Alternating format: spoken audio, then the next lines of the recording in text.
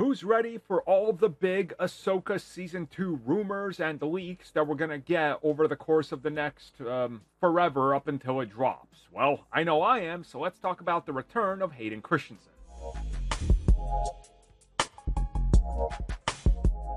So it's been heavily implied, rumored, speculated, whatever you will, that Hayden Christensen will be back in season two of Ahsoka. Now, if you watched season one, and I think many people did, as is evidenced by the numbers and, um, well, the views and what Disney said. If you watch the end of that, you know that it's heavily implied that, yeah, Anakin will be back. Well, brand new rumors have recently suggested that he's coming back for a much bigger role and future in Star Wars. And without going into all these step by step details, what's going to be happening, and how he's going to live beyond just being like a force ghost and how we saw him in Ahsoka season 1, aka appearing in the world between worlds.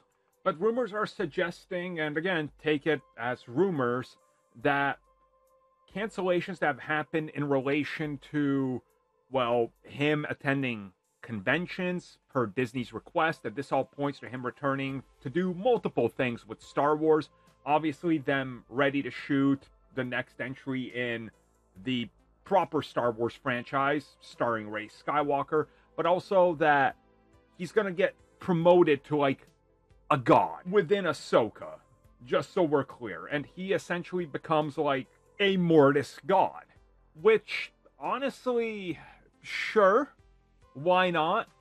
I mean, Star Wars has continuously changed what's possible with the Force and being a Jedi and the afterlife ever since A New Hope, when it was originally called Star Wars, right? So if this is how they're gonna do this and give us more Hayden Christensen in that role, but elevate him to another level, it works with me, quite honestly.